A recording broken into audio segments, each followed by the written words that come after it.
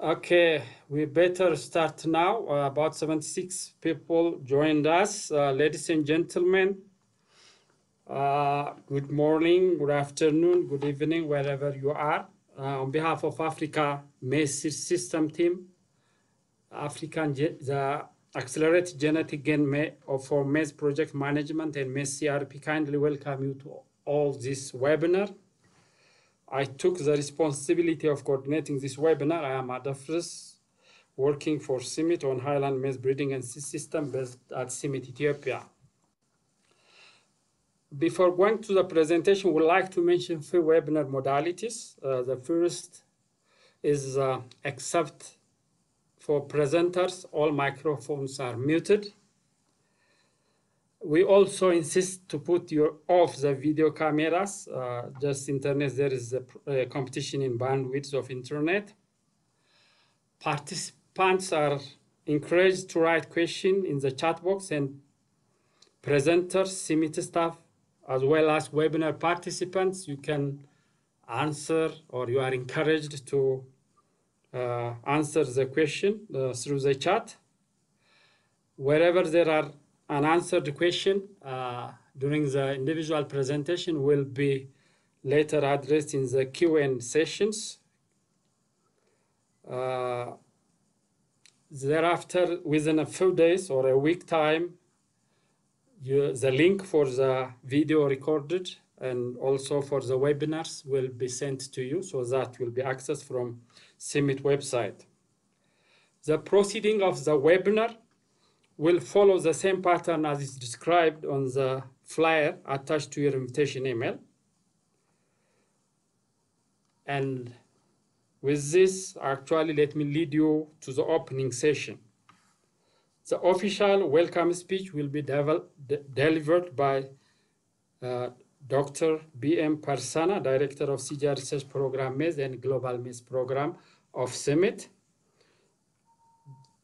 I kindly invite Prasanna to make an official welcome speech and tell us the webinar organized around quality assurance and quality control. Prasanna, the microphone is yours. Thank you. Thank you so much. I hope you can hear me. Uh, friends, uh, first of all, a very, very warm welcome uh, to all of you for this uh, important webinar on uh, uh, seed systems, which a series of of webinars we have been organizing under the Accelerated Genetic Gains for Maize and Wheat Improvement uh, project. In short, it is called the AGG project, uh, which is being implemented across 13 countries uh, in sub-Saharan Africa. Um, this particular aspect of quality assurance, quality control is an extremely important part of our portfolio of work, uh, especially under the seed systems. Uh, for this audience, I don't have to necessarily explain why we need uh, a strong seed systems that meets not only the quantitative requirements, but the quality requirements uh, of the stakeholders. Uh, we do need to produce enough quantities of seed at various points in the seed value chain and meet the diverse demands of the farmers, as well as those companies, seed companies, which are the vehicles for us to meet the requirements of the client communities. And at the same time, uh, CIMMYT together with partners, uh, we are doing intensive work on rapid scaling and wider adoption of, of stress tolerant or climate resilient maize varieties. And our most important challenge uh, is how best to replace the old and obsolete varieties with new genetics, with the climate resilient varieties with better yield and better yield stability. Uh, in the process of this, we should not lose uh, control of the aspect of quality assurance and quality control. Uh, so we have assembled here a very experienced group of panelists um, from both public and private sector institutions who have been focusing on delivering high quality seed uh, to the farming communities. And uh, we are eager to listen to them. They are not only from CIMMYT, there are colleagues from African Seed Trade Association, uh, seed companies in Africa. John MacRobert is there. Uh, we have uh, a NARS partner who is at the forefront of meeting the demands of uh, client communities, that is Godfrey Asea So together with all these partners, uh, uh, we, we intend, and of course, Melu is also there, I forgot to mention. We intend to meet your requirements and your understanding of this whole issue. Most importantly, uh, seed quality assurance, uh, the methodologies uh, have to embrace newer tools and techniques that provide much greater understanding of genetic purity and genetic identity uh, of uh, inbred lines as well as hybrids uh, that we are developing and disseminating to the seed companies and partners. So QA QC, not only from the traditional perspective, but also from the molecular perspective is something that we are extremely eager that more and more institutions in sub-Saharan Africa embrace as soon as possible because that is the only way we can we can be internally and externally uh, be confident that our seed is meeting the highest quality standards. So with that brief remarks, uh, I really look forward to the presentations in this meeting. Uh, for a brief while, I will be leaving the meeting to uh, host uh, another session of the Maize Management Committee, the CRP, but I will be back in half an hour and then I'm eager to listen to colleagues and uh, look forward to a very productive and very intensive engagement of all the participants in this particular webinar. Thank you so much. Thank you, Prasanna, for your nice opening speech and elaborating the need for this webinar. So now I will uh, I will uh, proceed to the technical presentation. The first presentation of the series is uh, deal with the importance of quality assurance, quality control in seed business, and insight and perspective from Seed Trade Association by Miss Grace Geto. Kindly allow me to introduce Miss Grace. Grace has over 20 years working experience in this system at both public and private sectors. She started her career at KALRO as wheat and maize breeder and played role in release, releasing of over seven improved varieties. Then served at KEPHIS as senior seed inspector in evaluating varieties for release and protection and other uh, seed regulatory activities. She is currently employed by African Seed Trade Association uh, as a seed expert and guiding on technical aspects and facilitate seed trade in Africa. She has been instrumental in development of regional har harmonized seed trade regulation in uh, East African Community, COMESA, ECOWAS, SADC, ARIPO, OAPI, and ASFTA. And Grace holds MS degree in agriculture extension and based in horticulture. Dear Grace, with this brief introduction, I kindly invite you to proceed with your presentation. Thank you. Okay. okay. I wish you could magnify it a bit. A bit. That's as big as it will go. Okay, fine. I, I, will just, I'll try, I'll try to read, uh, though it is still very small. But uh, that is the background. Uh, I'd given the outline of my presentation. And the first one will be on AFSTA background for those who may not know. And AFSTA is an acronym for Africa Seed Trade Association. It is a non-profit financial organization fostering visibility of the Africa seed industry. It was established in 2000 to represent the interest of the private sector in the Africa Agricultural Development Agenda, which we do through promoting trade in quality seeds in Africa, facilitating establishment of national seed trade associations to represent the Africa agenda, AFSTA agenda at the national level, to advocate for removal stroke reduction of trade barriers at national, regional, and global level, to develop position papers on pertinent seed issues to, to present an arguable opinion of the private seed sector, and also to spread activities or spearhead activities that lead to a growth and competitiveness of the Africa seed industry. Those are the key mandates of AFSTA. We have a secretariat that is hosted in Nairobi, Kenya, and a regional office in Dakar. Members of AFSTA are the NSTAs, individual seed companies, uh, related public and private institutions. Next.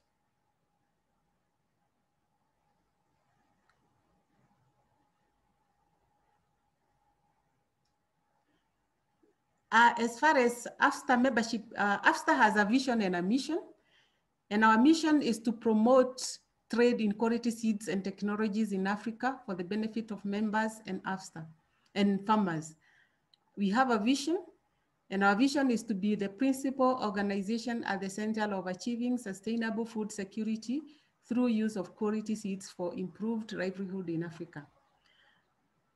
AFSTA has focal points in all the high-rated countries in, in form of NSTAs or otherwise.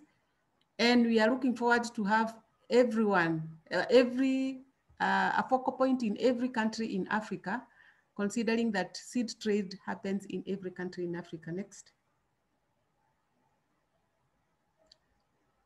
Now, I want to give us an overview of seed trade.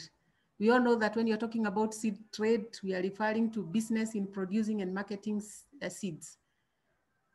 We know that seeds move in countries under complex global patterns, sorry, for purposes of, uh, for many uses, including breeding programs, adaptation, evaluations, and seed production. The desire of seed traders is to produce and deliver seeds to farmers at the right time, uh, right quality, and uh, right costs. The, the estimated global seed market uh, is, was valued at uh, about 66.9 billions by 2018, and it is projected to grow to USD 98.1 by 2024. The Africa seed market value is estimated at, was estimated at 2.08 billions by 2017, and it's expected to, to grow or to reach to 2.79 in 2023. This is a very small share of about 3% of the global market value. So Africa need to do something to change this. The importance of sea trade at the national level is that the national government uh, should support the sea trade as it is key to global to the global national no, the GNI and through business taxations the government's benefit it also contributes to employment opportunities and also enhances regional integration and economic growth. Next. Like I stated earlier on, is that uh, seed move at a very complex uh, systems, and this is a demonstration of how seed move. You can see uh, maybe where the seed is produced is not where it is uh, distributed or processed. And also uh, the research centers could be different. So all these are as a demonstration of how seed move uh, at the global level to reach uh, farmers at various points in the continent, in the world. Next. Now, I want the seed associations, uh, what is their role in the seed industry? Now, the seed association, like all the others, is just a membership group of seed traders who come together to share resources and energy in search of services they desire for themselves and the seed industry stakeholders at national, regional, and global level. That is the main, the general uh, definition of the seed associations.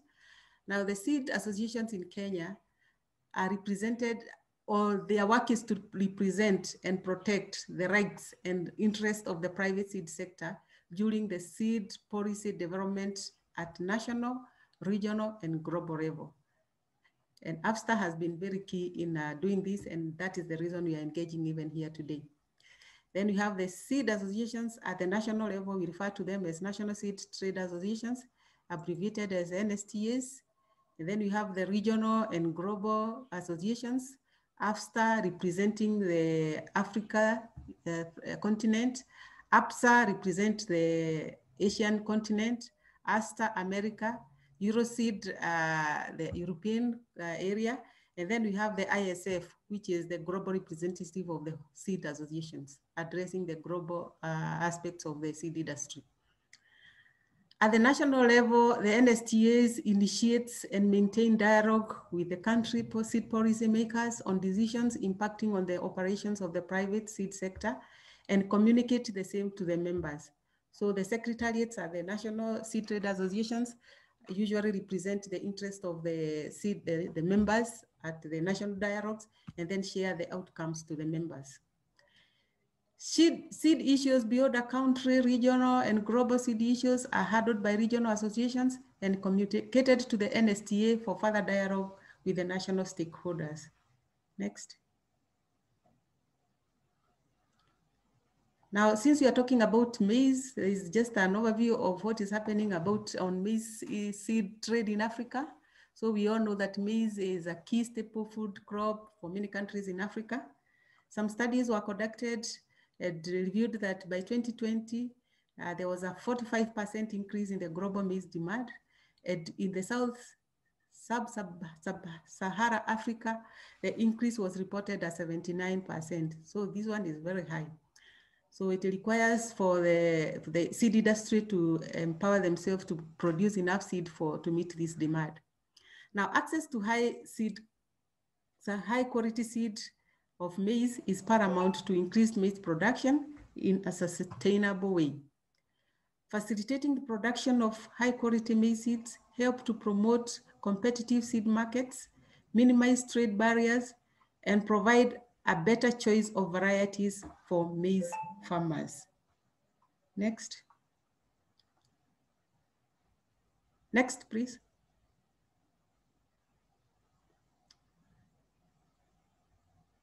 Now, for the, as for the topic today, what is the importance of quality assurance and quality control in seed business?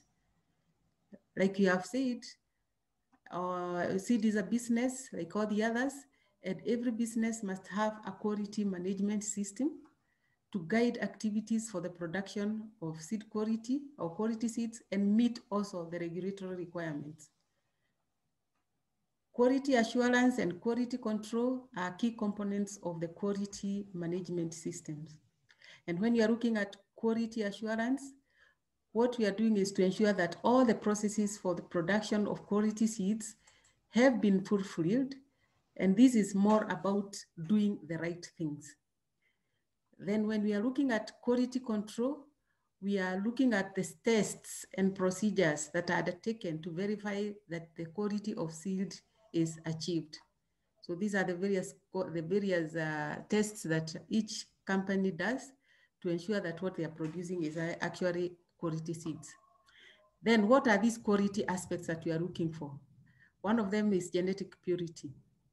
Now we know that production of genetically pure seed is a very heavy investment in seed business. And this has to be maintained so as to realize return on investment and also satisfy farmers' expectations from the seed. Then the other quality is uh, physical quality, and this is done to avoid admixture that contribute to variety deterioration. We don't want the, the genetically pure uh, product to deteriorate fast. We want it to maintain its standards. Then the other quality the physiological qualities, and this one ensures that the seed capacity to germinate and produce uniform vigorous plant is maintained. Then we have the seed health, and this is to ensure that the seed is free from pests and diseases. I think this one can be elaborated by the regulators. Now, these are the aspects that a seed business has to do. And once you do this, then be, it will be very easy for you to comply to the regulatory authorities because they are the ones who, uh, who ensures that you are abiding to all this. Next. Uh, sorry, Grace, you have two minutes left. Yes, I'm about to finish. Now, what are the challenges that you have experienced uh, on maintaining the quality assurance and the, and the quality control? One of them is uh, regulatory systems. Uh, we have found that uh, most of our, uh, the regulators apply outdated laws, which are not uh, meeting the dynamics in the city system. Then you have the regulator capacity. Some of them don't have the relevant skills and that some have very few technical staffs. And also some of the laboratories are not up to date. Then we have the slow implementation of regionally agreed uh, uh, agreements, uh, which are made in various various organizations as I highlighted there. Then the other challenge is access to breeder seeds. We have small and medium seed companies have limited access to breeder seeds. Then you have, uh, there are challenges of uh, new breeding technologies and access to those pro products, especially from biotechnology and gene editing. Then we have unclear process of access to public varieties. We know there's a lot of breeding from the public sector, but access to those varieties by, by the seed companies, sometimes it becomes a challenge because the, the, the modalities are not clear. Then we have competition from the public uh, seed companies. We know that the, public is also doing seed business, so sometimes it becomes a challenge for a private seed company to compete effectively. Then we have uh, seed companies empowerment. That is another challenge. And one of the key challenges here is the lack of awareness of the required uh, regulatory, the regulatory measures. We have trade barriers. There's a lot of tariff and non-tariff barriers. Then we have the management and control of invasive pests and diseases. And in this case, for me, we have the MLN and the FO. And then we have uh, financial and infra infrastructure support, in which case credits facilities are not easy to get. And then we also have the challenge of the National Seed Trade Associations being recognized by the National Agricultural Agenda. Next. So what AFSTA recommendation is that uh, one, the regulatory authority should uh, provide a clear quality management systems to enhance compliance by the seed traders. We also recommend that recognition of the seed trade associations be encouraged at the National Agricultural Agenda then we recommend fast tracking of uh, seed agreements at national, regional, and global levels. We look for harmonized and, and uh, implementation of phytosanitary measures that is facilitate seed trade. And then we are also looking for digitalization of the, uh, the services that are given to seed traders. And herefore, we are looking at e-phyto certification, among others. Then we are also looking for licensing of private seed inspectors to complement the activities of the national regulators. Then we have the information is lacking and we encourage that this be put in place to encourage investment in seed business. And then we are also looking for strengthening the seed sector through public-private partnerships to en enhance the growth of the Africa seed industry. Next. I think that's the last one. Thank you. Thank you very much, Grace. Uh, you are punctual in presentation and uh, your uh, presentation was insightful and comprehensive. I think you try to address most of uh, the issues we expect, like uh, the role of FTC, uh, African Trade Association, review of seed trade, role of seed association, seed trade, importance of Q uh, and QC uh, in Africa, uh, and also the recommendation. So we thank you for uh, the nice presentation and proceed to the next presentation. The next presentation will be made by Dr. James Gethi, CIMMYT Maize Seed System Specialist based at Harare, Zimbabwe. Uh, his title of presentation is Quality Characteristics and Available Methods to Test Genetic Purity and Identity. James' main activities in his current position includes providing support for commercialization of CIMMYT products through generation of information required for registration of CIMMYT germplasm uh, derived products, training and technical support in East and Southern Africa. He has also been providing NARS and private seed companies startup seed for registration and demonstration of allocated products and provided parental lines for newly and already released hybrids. James, please continue your presentation. Thank you, Adefris. Uh, good morning, good afternoon, good evening, everyone, wherever you are, and welcome to the presentation. My name is James Gethi, and uh, this presentation has been made in collaboration with Manje Gowda. I'll be uh, presenting on seed quality characteristics, and available method to, uh, to test genetic purity and identity. I want to start with uh, the definition of uh, what quality in seed is. And seed quality expresses the extent to which given, a given seed lot meets the standard set for certain attributes, determining the quality of seed that was uh, previously uh, talked briefly by Grace. And it is composed of four main uh, factors. There is a genetic purity, and this is the ability to breed to, uh, true to type. We have also physical purity that is uh, uh, analytical. We also have seed health, And uh, this includes uh, freedom from diseases. And also there is also the physiological attributes to the seed characteristic. And this includes vigor and viability. And all these factors contribute to what we call quality seed, uh, which means that the seed is genetically and, and physically pure with high germination percentage. And this seed should be at an appropriate uh, and the seed should be free from diseases and of unwanted seed. I want to start with genetic purity, and this refers to the specific genetic characteristics of the seeds all variety.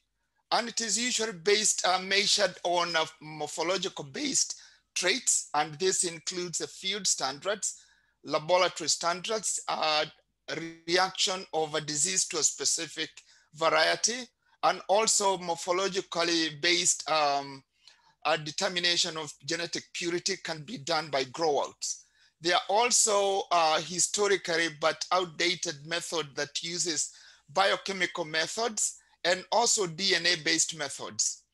On uh, physical purity, we are referring to the presence of other seeds and uh, the moisture content of the seed in question. And this usually involves uh, the visual examination of the ears, grading, etc. We have the health aspects, uh, which is the absence of diseases.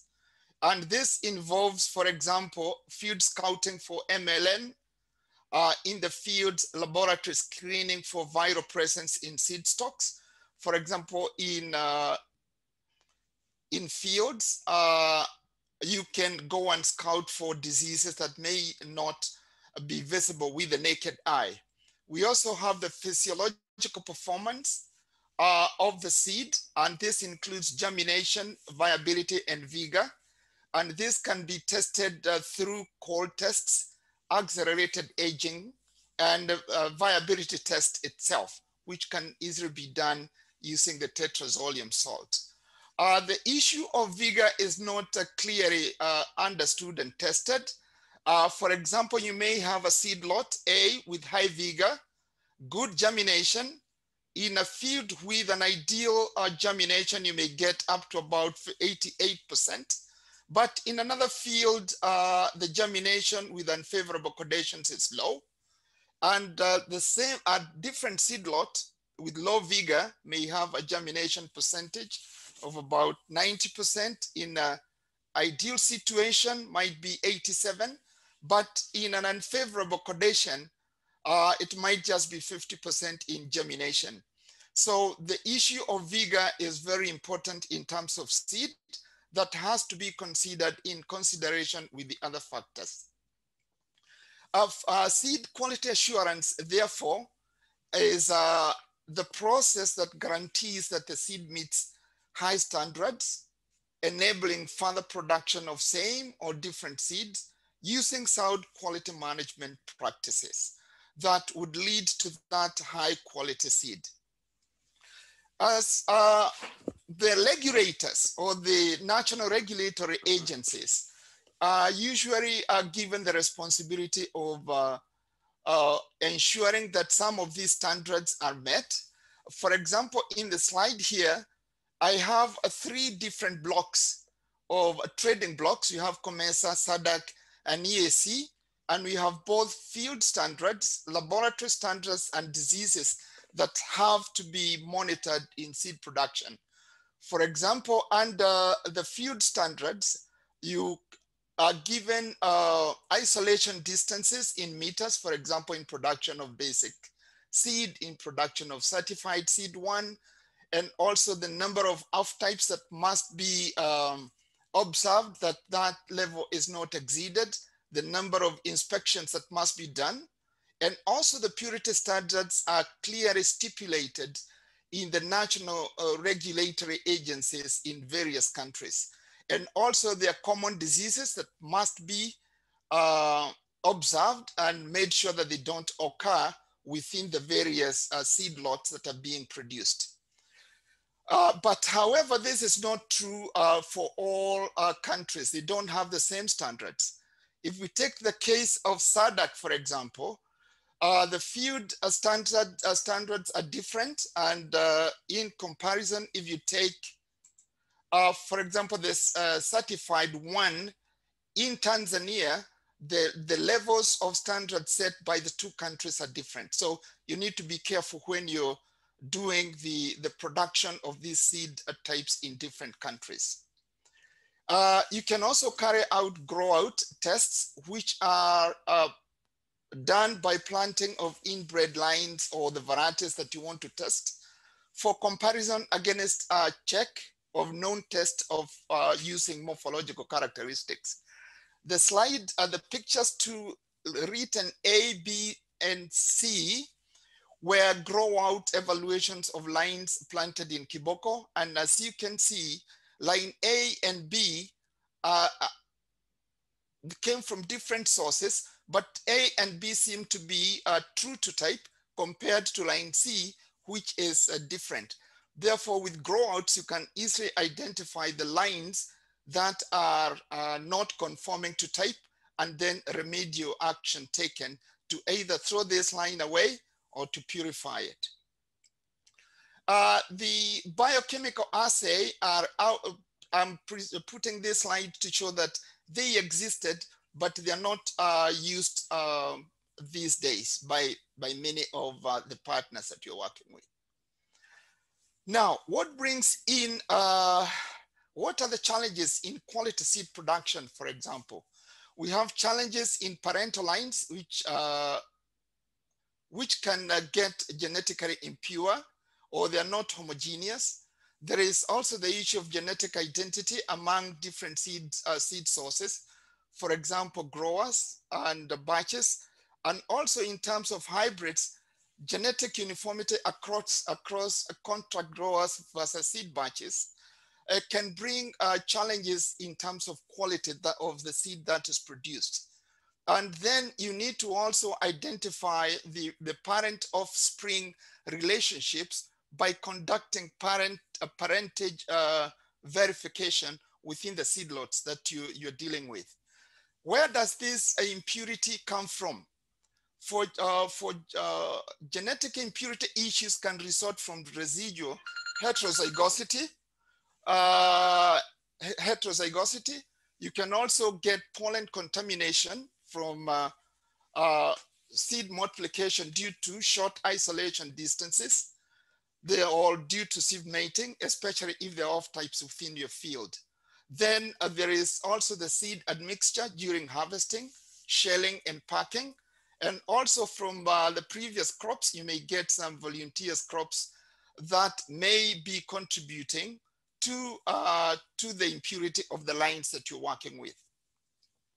This is a slide I put in to show uh, what we are doing at CIMMYT. We routinely check the purity of our lines and check the, the level at which this material is contaminated. And uh, we group them in nurseries and check how well our plants are in terms of uh, impure, uh, impure lines, pure lines, impure lines.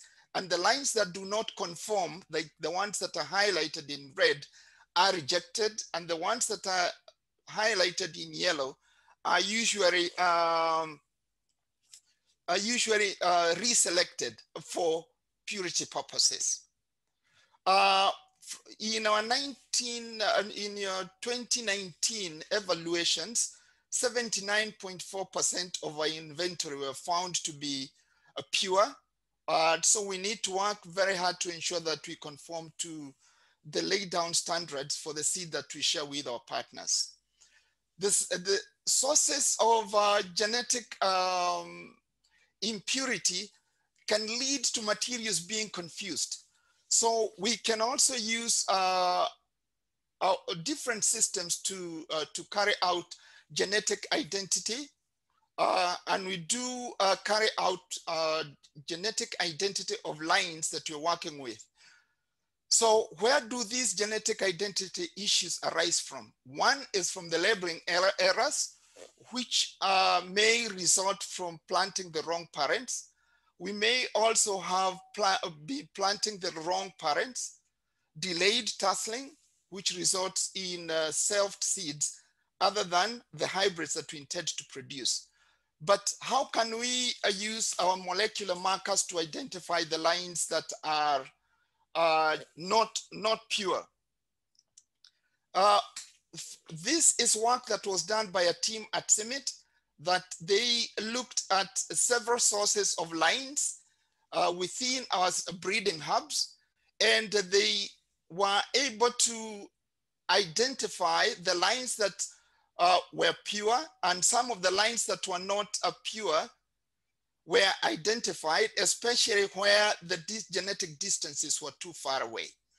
So the genetic or identity of the materials can be a challenge in seed production, trade and dispute uh, resolutions, and the sources of the materials can also play an important line in that line identity. Work done by Chen et al. also showed that uh, you can use SNP markers to identify the materials that you're working with.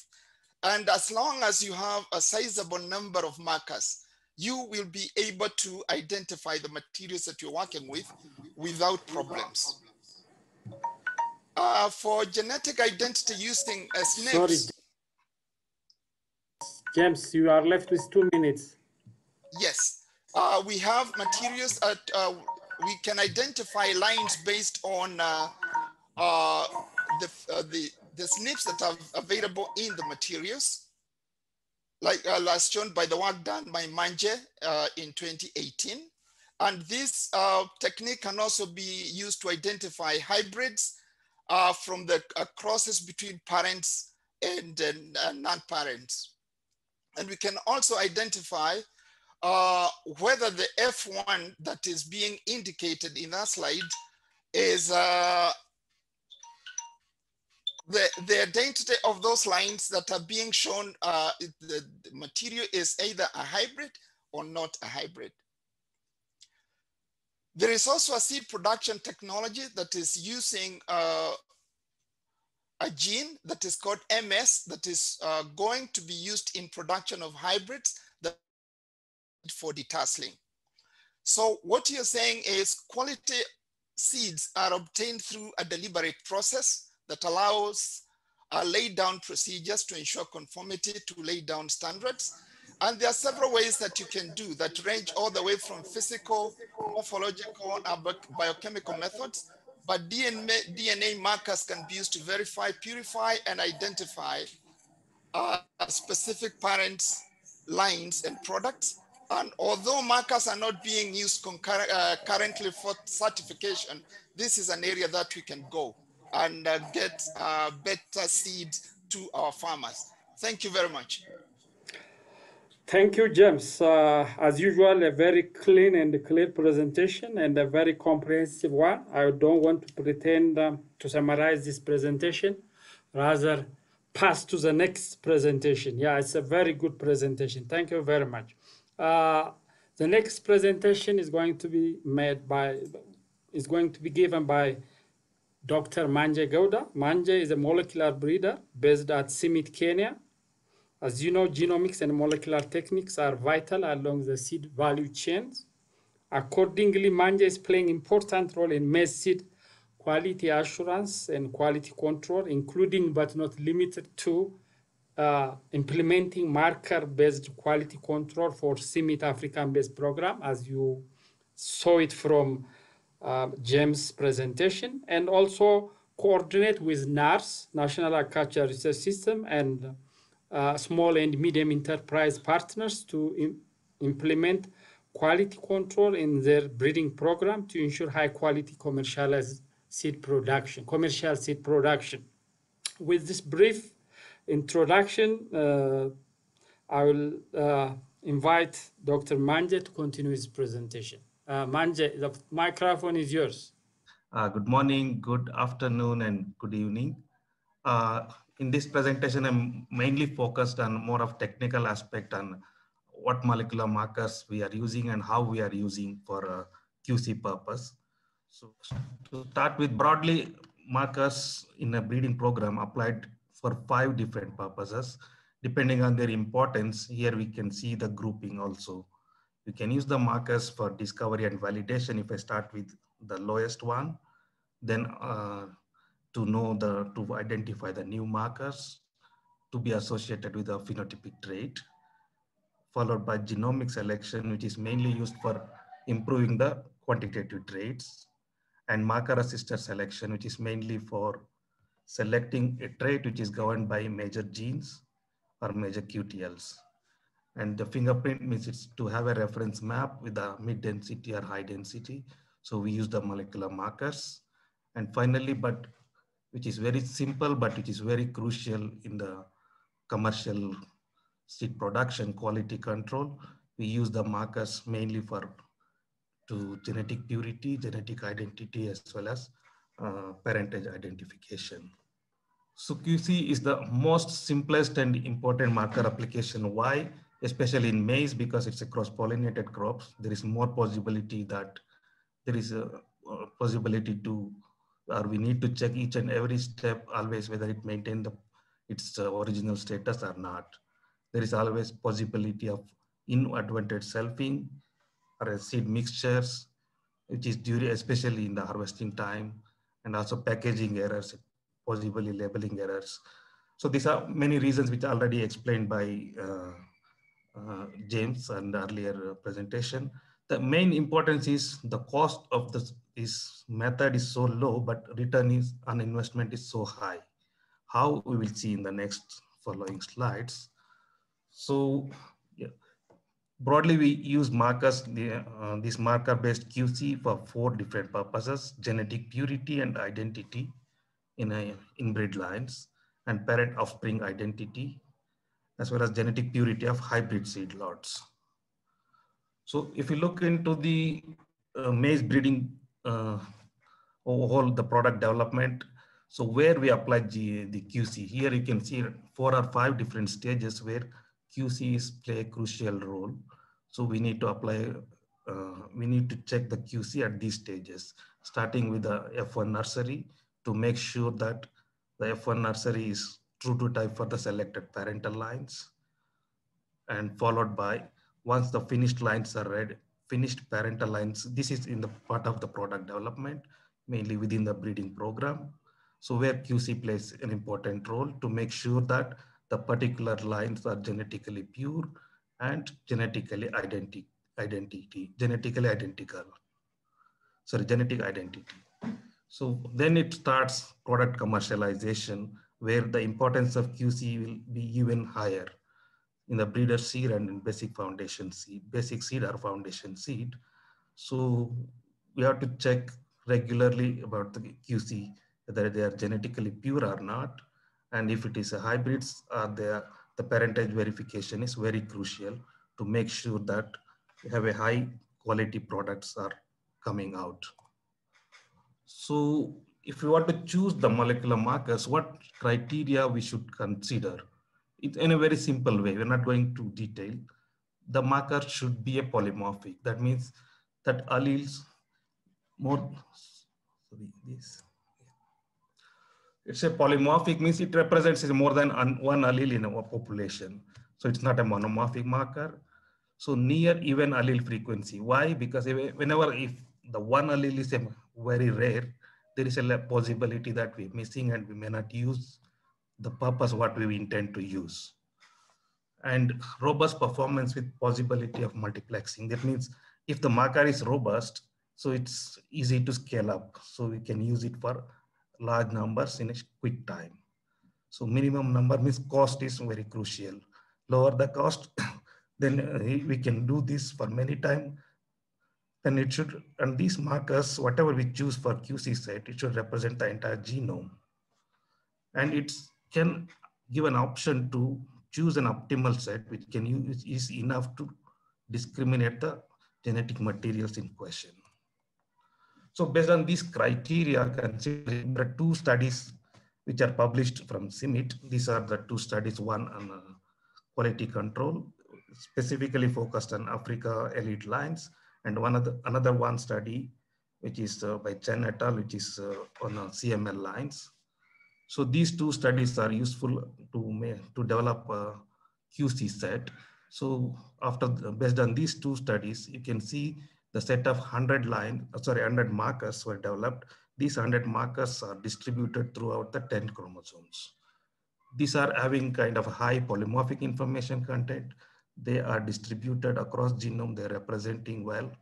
So these set we recommended as this is the be uh, relatively best QC set to be used for QC results and all the information regarding these markers as well as how it was selected all and how it can be used is all in detail is given in a technical manual, the QC assurance, the QC technical manual, which is available for all. In addition, there is one more QC set has been developed. It's called rapid QC set. This can we can use if we have prior knowledge of the our material. That means we have done QC many times earlier. So just we want to know quick. So this is another set uh, QC markers, we can use it. This is again well represented for all 10 chromosomes. So what is the threshold scenario to consider that this is genetically pure or not? If it is, that is the threshold, why we use that threshold. Generally, if we have, if our breeding program is uh, based on the uh, traditional, uh, like a pedigree based method, if we are choosing the final line at F6 stages, we expect there will be at least 3% of uh, residual heterozygosity remain there. In addition, there is some little bit genetic drift and also possible errors due to genotyping. Together, it costs at least 4 to 5% heterozygosity still remaining. In that case, we can't expect like uh, select the line which is having 100% pure. So that's why in, to select the genetic purity, the standard is 95% if the line is developed through traditional uh, uh, pedigree breeding method. If it is line developed through DH line, the threshold is 99%. That means only 1% of heterozygosity is allowed. Yeah, this is uh, the, if you want to consider any line as a pure, that line should have a heterozygosity of less than 5%. If it is line derived from a DH, that you can expect less than 1% of heterozygosity. We at least 99% it should be pure. In case, if we get a line with a 5 to 15% heterozygosity, what we should do? Can we throw or not? No, we no need to throw. So we have to go one more, one more season of ear to row selection. Then the next season we can do the uh, QC again to make sure that this heterozygosity level to reduce less than 5%. If we find more than 15% heterozygosity, that is more uh, worrisome. Either we have to discard that or if it is very crucial, we have to follow, follow some more uh, cleaning of that, but uh, that lines. In addition, for genetic identity, we also use like more than two, more than one, two sources to make sure that those are genetically identical. For that genetic identity, we use either reference reference marker or we use the genetic distance. What is the reference marker or reference profile means? If particular line is very important for the for the company or for the it's the final product, we need to have a its markers profile earlier available. We call it as a reference profile. So coming to, if you want to know genetic purity, we have a marker data. How we should uh, uh, tell that this is genetically pure or not. This is a simple illustration of a parental line one. If we have a three sources, here you can see out of 10 markers, how many are homozygous, how many are heterozygous. This shows that the source B, which is 100% heterozygous, we have to accept it, but others which is having more heterozygous loci has to be rejected. So this is a simple way to select either it is a uh, accepting the threshold of genetic purity or not. Similarly, for the genetic identity, many times the line is genetically pure, but it is not genetically identical. To avoid that confusion, we need to have an original source, which is already genotyped, which is called a reference profile.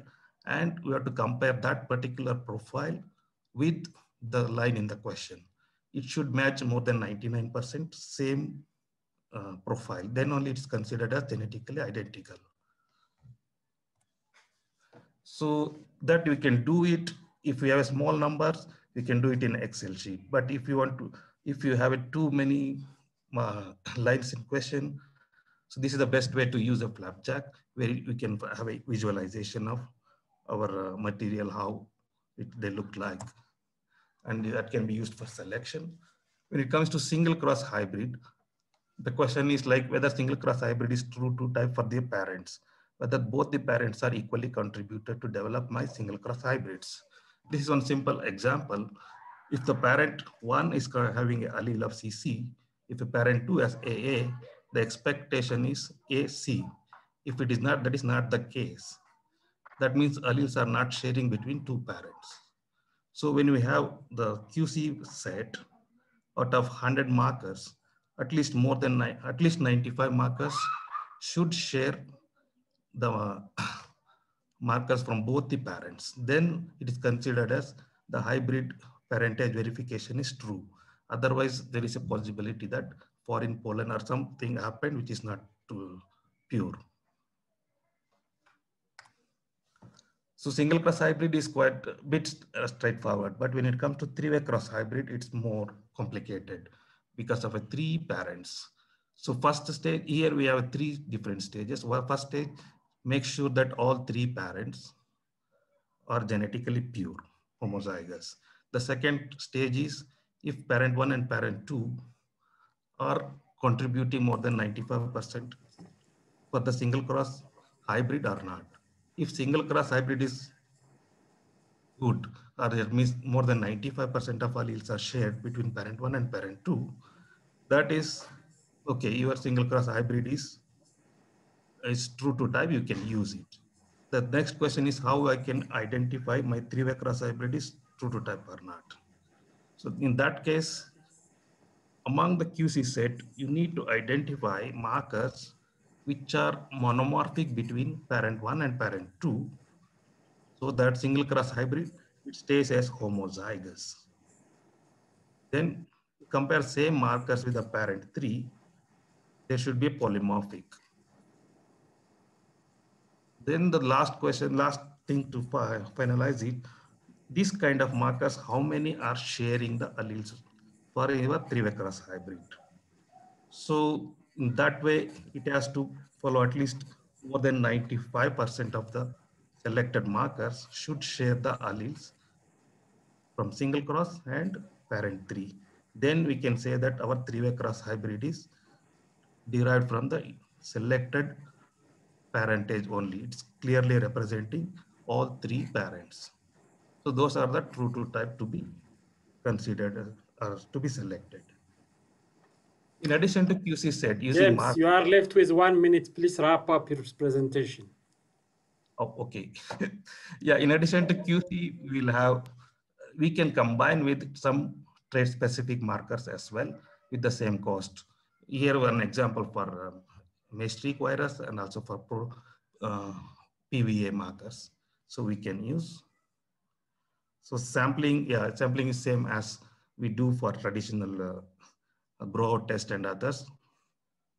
Yeah, for the, uh, to use the markers for the QC, we no need to have our own lab. It's very simple. It's easy to do uh, outsourcing. So we no need to have specialized people. So either we can use the seed or we can use the leaf for DNA extraction. We can send it. There will be several service providers who can give us quickly the results. So the sampling, either we can go for single plant based sampling or we can go for bulking of four to five plants of same entry to reduce the cost. So this is the cost for two service providers can be used. Either you can go for 10 markers or up to 100 markers. So the cost will be around $5 per, per sample. So EIB and CIMMYT, how we are work, helping or how we are working with the partners is mainly we are organizing some of the QC uh, training programs, mainly focusing on partners and regulators, and also providing technical support. Currently, EIB is also covering genotyping cost for NARS partners for QC. So in conclusion, establishing proper QC with the is a fundamental requirement, especially for seed companies. Uh, and also it's for private private uh, breeding program as well. So we have a set of around 50 to 100 SNPs, which is a QC set available. And also its information is also available in uh, our technical manual, which can be, which is useful for any partners to be used. And we also help uh, helping, we are ready to help for uh, all partners by providing our technical support. And it is possible also to define, we know if we have 100 markers, we don't need to select all 100 markers. We can have an optimal number of markers depending on what is our main objective. So in that way, we can we can even reduce the cost of testing further, less than $5 also. Thank you. Thank you, Manje. Uh, you took one or two minutes uh, more than the time assigned to you. But thank you very much for the nice detailed presentation. I think it uh, has so much technical issue and uh, uh, we will be sharing the presentation to our uh, audience later so that they will get acquainted with this technique. And I think it is very exhaustive presentation that includes application of molecular markers in quality control, the different stages where we can make uh, uh, quality control in the breeding pipeline, uh, characteristics of a molecular marker, uh, good molecular marker for quality control, the CIMMYT experience in developing the marker sets, the markers-based quality control set, uh, and uh, so many other things like setting the threshold scenarios and uh, including the price and uh, everything. So it's a very nice presentation and thank you very much for that. With this, I will uh, proceed to the next presentation. The next presentation is a sort of continuation of uh, Dr. Manje's talk uh, by Godfrey Asea. Uh, Godfrey will stand today in front of us to share his NARS experience on the application of molecular markers in seed quality assurance and quality control on behalf of Eastern Africa NARS, uh, on behalf of the Eastern Africa uh, region. Doc Dr. Godfrey is one of CIMMYT's closer collaborator in East Africa and serves as Director of Research and maize breeder uh, in the National Crop Research Institute, uh, which is a constituent of the Uganda National Agriculture Research Organization, popularly known as NARO. And he has been a lead maize breeder for more than 15 years and has released, registered, released and or registered more than 20 maize varieties that are commercially produced. And uh, Dr. Godfrey uh, has also contributed in providing technical support for small and medium enterprise and strengthening seed system in Uganda. Dr. Asea holds a PhD in agriculture, plant breeding and genetics from Ohio State University and a MSc in crop science from Makerere University. Uh, Godfrey, uh, this is your turn. Please go ahead with the presentation. Thank you, Adefris, for the kind introduction. Greetings to everybody in this meeting. And also allow me to thank uh, all the previous presenters for excellent background that will make our life quite easy in the next presentations.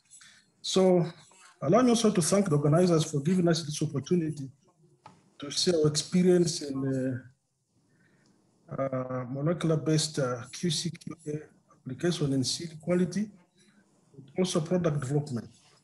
And you'll see in my presentation, I have uh, expanded the scope of the QACQ, QAQC application for both product development, but also seed quality control, uh, uh, but also uh, included examples from a few crops uh, but later on I'll focus and remain on maize until we go to seed quality issues.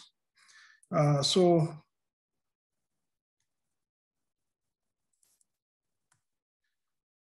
So my presentation will focus on QCQA in product development, uh, particularly on F1 verification and parental purity, but also importantly on the forward breeding and marker assisted process. Uh, I'll also dwell on uh, QCQ and seed quality, uh, but most importantly, what have we been able to do, the information in terms of improving seed quality uh, uh, here in Uganda. So in terms of product development, we have been uh, using markers in a number of crop commodities and, and use it for forward breeding applications, especially for some of the key traits, uh, selecting favorable alleles. Uh, number two, also for backcross, backcross intro, uh, intro, introgressions, particularly for traits data deficit in our germplasm. Uh, F1 verifications so that uh, we really advance what is verified. Otherwise, you'll be fooling yourself and wasting resources and time. And uh, also purity in terms of core or founder lines so that we can make informative decisions and also crosses. So allow me to start with the rice. I told you a few crops. I think rice is one of the crops with the, a lot of genetic resources, particularly in the HTPG platform for forward breeding. You can see a number of uh, QTLs and the number of markers spanning all the chromosomes that are deposited in HTPG and which is useful for application in forward breeding. And we've been able to use this uh, starting two, three years ago, and they continue to do that. And um, what this shows is distribution of some of our F3 populations we sent last year for genotyping, uh, uh, which have a number of the key traits that we need. I will come to this a bit later. But I think what is important is uh, we have been able to use uh, QAQC for F1 verification. We have sent and genotyped uh, over 600 F1s and use that information for advancement, uh, culture, and also some other decisions. But on the right table also, we've been able to use it in forward breeding with a number of crosses, uh, populations for some of the key traits for advancement.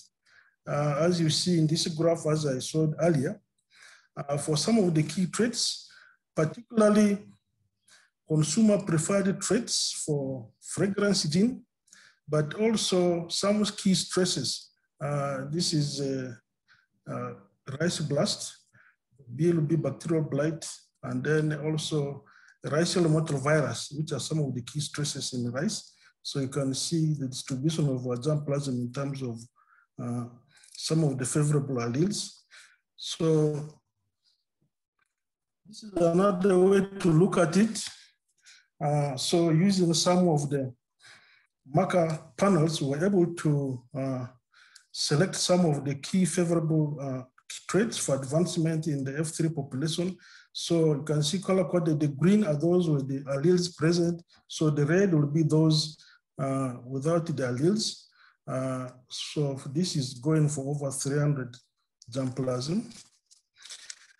And a similar case for groundnuts, we have been able to genotype over 380 elite germplasm for key, for three key traits, uh, which is a, a, leaf spot, rust, and high oleic, which are key consumer preferred traits in groundnuts, and be able to select and combine multiple trait preferences in some of the background germplasm that you can use. Uh, by color code here again, you can discard the reds or select single for traits or combined for the traits. So that's how I've been able to use that information. That now brings me to, to maize, our efforts in maize. Uh, we've been able to do a lot of work uh, starting last year on F1 verification. We have genotyped 360 F1s from 36 crosses with 50 marker panel, QC, QAQC marker panel for white maize, over 366 elite lines, uh, provitamin A, about 94 lines, and the DH line, 754. And uh, uh, we, we used the 44 kettle marker, markers for profiling and 50 QACQ, uh, QAQC markers. Uh, the other work we've also been able to do is uh, use the marker for uh, backcross integration of MLN and MSCV uh, in, the, in the panel. Uh, in the 376 entries that were genotyped uh, recently. So what you see here is, uh, if I can start with the, uh, the back cross population that was genotyped for MLN and MSV, of course, you can see the greens are, are, favorable alleles for the key traits. So we picked a number of lines with favorable alleles for MLN and also picked a number of lines for favorable alleles with MSV. But also you can do combined selection where you can see where there's green selected to the right is where there's alleles for both uh, MSV and MLN. And that's what we're looking for. And we continue to do this for all the populations uh, for, for the background uh, MLN donor we used in our advancement. So in terms of F1 verification, uh, this is just one cross, uh, a number of markers. You can see uh, that uh, most of these markers were polymorphic in all the loci. And uh, so the F1 was uh, heterozygous, 50% heterozygous, and that is expected good quality for F1 verification to move forward. And that's the information we're using to advance some of this population to move forward. Uh, now from here, we'll go to effort on uh, using QAQC in uh, parental seed quality improvement. We started this work up to about 2014, 2015, up to 20, up to current. And uh, that time we piloted uh, with eight seed companies and sampled about 85. Uh, we sampled 85 parental lines and genotyped them with uh, 144 markers in LGC platform. And uh, our analysis showed that uh, using the QA-QC standards where uh, less than 5% heterozygosity is accepted in inbred line, 53, 62% of the lines passed the test for quality, while 16, which represented 19% of the 85 lines, uh, were highly heterozygous with between 6 to 10% heterozygosity. And then also about 15, which is 18%, were very highly heterozygous with greater than 20% heterozygosity. So the actions we took here for, for these lots, which were bad, was we were able to work with the respective seed companies to replace the stocks with the new breeder seed stocks, but also did some trainings for the production on, on maintenance of these lines uh, and, and, and, and, and replacing them. So that's the work we're able to do there. So graphically, you can see the representation to the, uh, to the right uh, bottom line there, uh, the distribution in terms of parental line purity, uh, uh, quite a number were were passed the test and were very pure. And also in terms of heat map or distance matrix, you can see a number of them lines were lining up very well. Uh, that were that were pure. 2017, 2018, we continued with this effort and also uh, using the eight piloted seed companies which commanded the biggest market share, we sampled 79 lines and uh, in this analysis, you can see 44 lines passed the test of five, less than 5% of the heterozygosity, which was representing 56%. And uh, 11 of the lines were between 6 to 20% heterozygosity. And this was, uh, which was bad. So we had to also work with the companies to replace those stocks and also conducted trainings to them. But also there was a high number that was very highly heterozygous close to 30%. So similarly, also replace that stock and work with the companies to train the, the production officers. Again, you can see the representation in terms of purity distribution, still a significant number was pure, and but there was still this uh, pure lines that could contaminate the hybrids. So again, using the standards for QCQA, uh, any line with greater than 5% matter distance, genetic distance is considered impure. So you can see a number of these lines uh, uh, were impure and they also discarded them and they replaced them with the companies. So that effort is continuing and we using it, we are using it to improve quality. So we also did it with single cross in 2017, 2018. And uh, single cross test is really a parent offspring test, and it is to build confidence real of seed growers uh, in terms of the quality of either the single cross, but also the three-way, as you saw in Mondays presentation. And uh, to assure that indeed the three-way cross is coming from the original parental lines, uh, which were uh, which were pure. So again, using the color codes, color codes, we're able to, within confidence of limit, so what is acceptable to move forward. Of course, for a single cross, you expect 50% heterozygosity coming from the two parents. We use 96 markers. Uh, so you can see the greens are where we think we're very close to 50% heterozygosity, and we allowed it to proceed forward. But anything less than that, we color coded it orange or red. And so replaced that with the new, uh, new foundation, uh, foundation seed or synthesis. So I picked Good. here, I picked here one example, Yes. 18 of the synthesis, yes. One single cross, you can see same single cross, but uh, Earlier it was green, but the following year, of course, I think it got contaminated. You can see the heterozygosity reduced drastically. So we did not allow that and work with the company to replace it. So that's an example of how we're using the QC QA markers for quality improvement. And uh, that work continues. So using that that's information, what have we been able to do?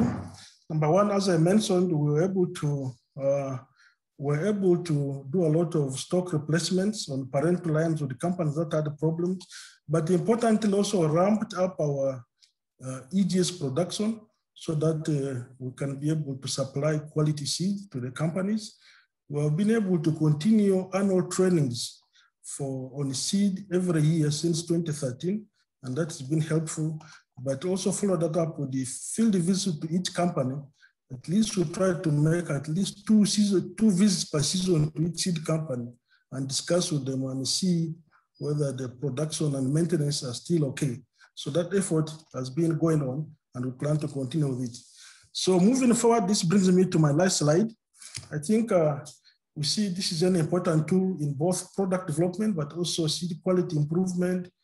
In the product development, we will continue this effort of genotyping for QA/QC to, to profile particularly the founder lines before we make crosses, but most importantly, integrate QA/QC uh, for F1 verification for all pedigree starts, but also before we send materials for DH.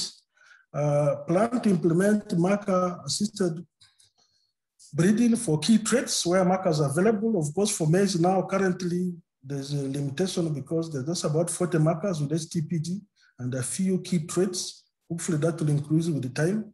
And uh, of those also, those with utility are less than 40. So plan to continue that effort. But of course, I've also started implementing markers for genomic selection for rapid recycling for some of the key traits. And we think that's an effort we shall continue with the moving forward. On the CD side, I think that effort of mainstreaming QC, QA, QA QC in the maintenance and quality improvement uh, will continue with the companies, but also internally here uh, in the maintenance of the lines. So that effort will continue, but the most important, how to mainstream it in the companies uh, quality management systems. Number two, also increase our effort in algorithm seed production, particularly breeder seed, and also continue to do ear draw, particularly to identify those that have problems uh, or need purification. But also see another important utility for this in variety monitoring, especially if you can get customized markers for some of the key lines, but also some of the key hybrids. Uh, what also this means is shall need to build capacity of the companies in the QA, QC applications and also use. And uh, as NARO, we started the business arm about two years ago, And one of the things in the business arm in the NARO holding is EG scaling. And I think that will play an important role and key role to be able to support the seed companies move forward. One of the key lessons I think from this is uh, operationally, we see need for operation framework to guide coordination, handoff, but also decisions uh, using this technology. But the most important also traceability, because there's a lot of information from both genotyping, but also the field selections on how to move forward. So operational framework will be very, very important to guide this and uh, use this to move forward. So with that, I thank you very much and uh, thank you for listening. Thank you, Godfrey, uh, for your nice presentation. Uh, I appreciate the effort being carried out in uh, uh, Uganda. Uh, actually, you are doing in a number of crops and uh, different genomic works, including the quality control. And it's a very good one to learn actually even the action what you are doing after identifying the results. Uh, similar to the other, I don't pretend to summarize your presentation. It was very nice and uh, really uh, it seems that NARO is moving ahead uh, on this regard. Thank you again and we'll proceed to the next presentation. The next presentation will be made by Dr. Uh, Meloluki uh, Zikaya, Zikhali, sorry, he's a molecular scientist at SeedCo uh, Zimbabwe, and he will be narrating on the same topic to that of Godfrey, but with different uh, like telling us molecular marker-based quality control from the private company perspective. We already heard uh, from the public, uh, from the NARS, uh, uh, from Godfrey. The big private companies uh, widely exploited genomic and molecular techniques for product development and producing and marketing high quality seed. Uh, Dr. Mule Melu uh, is passionate in molecular breeding, gene cloning, marker design, QTL mapping, and bioinformatics, and indeed in agronomy. He received his PhD uh, in molecular genetics from John Innes uh, Centers, University of East Anglia. His MSc uh, in plant genetics and crop improvement from England, and uh, his Bachelor of Science Applied Biology and Biochemistry from National University of Science and Technology, Zimbabwe. Dr. Zakali has many discoveries during his graduate and postgraduate studies and received different awards for his outstanding performance. Now uh, we are ready to hear uh, the presentation from Dr. Meluleki. Uh, Dr. Meluleki, the microphone is yours. Thank you very much. I hope you can all see my screen now. Yeah, it is visible, very much visible. Thank you very much. So I will get on to it so that I don't uh, eat into the 10 minutes, that into the 15 minutes that I've got. I'm happy I saw that this has been done. So these are the reasons why we do, uh, uh, why we need why we need uh, quality assurance in maize breeding. It's because you want to make sure that when you are developing a hybrid, it is the hybrid that you are selling and not anything else.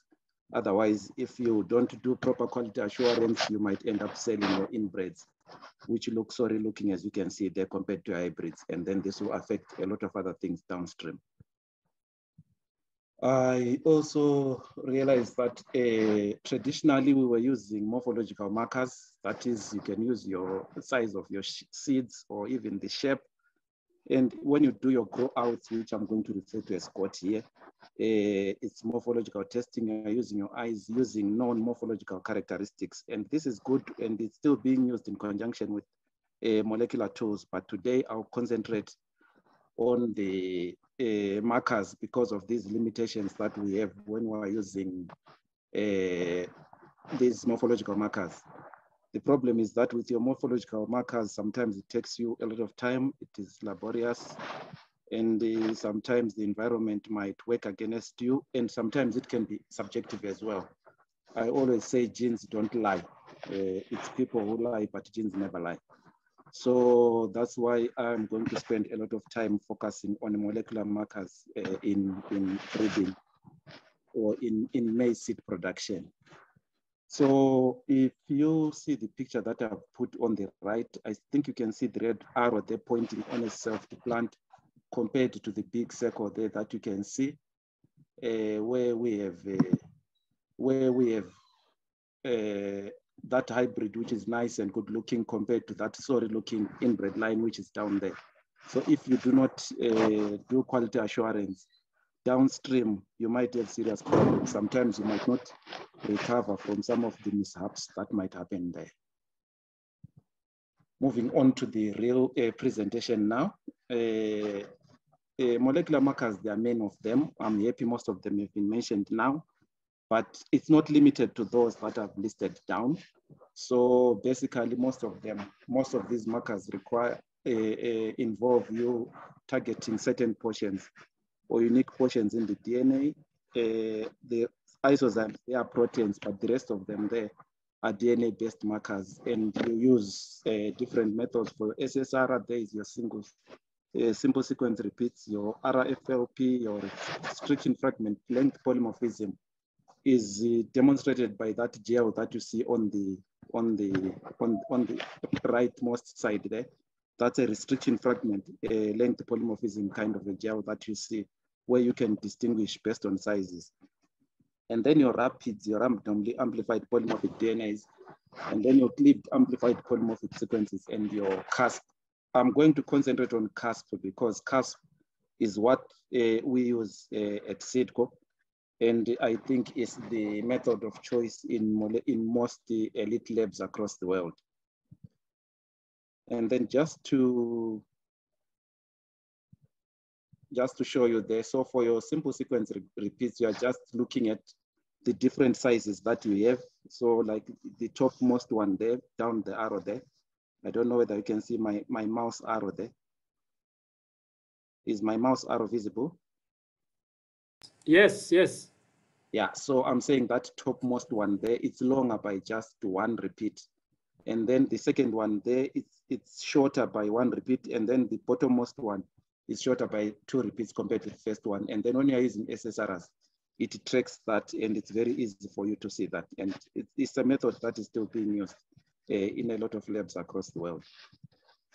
Then just to show the reason why I think KASP has uh, taken over as the method of choice, when you look at those pictures for isozymes, you can look and see that sometimes it's not very easy to distinguish between your bands there. Some of them might be thin, might be faint, not because the reaction did not work very, very well. That is the top left there, the isozymes. And then when you look at your rapids as well, sometimes it can be cluttered, sometimes it can be very difficult for you to notice. But when you look on the KASP section now, on the left side, those red, green, and blue dots, it's very easy to tell which one is which one compared to the other methods, and it's also high throughput. That's why it's a method of choice in uh, most labs across the world right? So uh, for those who might want to, to see the kind of lab that uh, we have, it's a SNP line kind of a lab, the LGC based SNP line kind of a lab. And I'm showing you there the both sides of the coin. So we just have a dual uh, SNP line there as you can see, and it has got uh, these kinds of equipment that I'm, I'm showing you now. So that's the process overall of doing, uh, of using the KASP genotyping platform. You need a genome grinder, the first one there. Of course, you need uh, some incubators and some uh, centrifuges for your DNA extraction there and some fridges that I've not put there. You also need your liquid dispensing uh, tools as well. Your FluidX on the top left there, and then your meridian on the bottom, top right and meridian on the bottom right, those are your fluid dispensing uh, uh, instruments. And then you also have your Kube for sealing the place because it uses the hydrocycler. So your PCR is immersed inside water. So this is the latest version of the hydrocycler. I wish I'd put the older version of the hydrocycler there. So that's basically your SNP line. And then this is basically how it goes maybe very shortly there so that we can all have a look so you start off from your material, which can either be seed or leaf. You can tailor it to do anything else. You need your genogrinder there.